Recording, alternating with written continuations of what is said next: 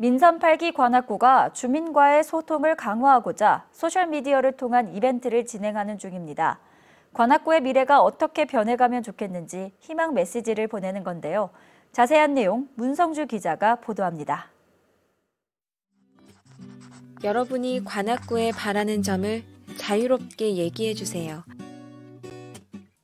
이달 새롭게 시작한 민선 8기 관악구. 구는 메신저 플랫폼을 통해 희망톡톡 이벤트를 진행하고 있습니다. 여러분이 바라는 관악구의 미래 모습은을 주제로 주민들의 기대와 염원을 자유롭게 받아보는 겁니다.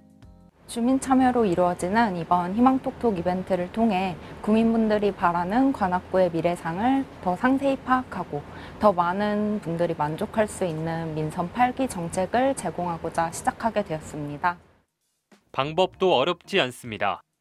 해당 메신저 플랫폼에서 관악구청 채널을 구독한 후 인증사진과 함께 본인이 희망하고 바라는 관악구의 미래 모습을 한 줄 메시지로 보내면 됩니다. 아이들이 안심하고 뛰어놀 수 있는 관악구. 문화 공연이 가득한 관악구. 희망 메시지는 24일까지 보낼 수 있는데 추첨을 통해 상품도 주어집니다. 참여자 10분에게는 치킨 상품권 3만원권을 드리고 안타깝게도 10분에 선정되지 못한 참여자 중 무작위로 추첨하여 100분에게 아이스크림 상품권 1만원권을 드립니다.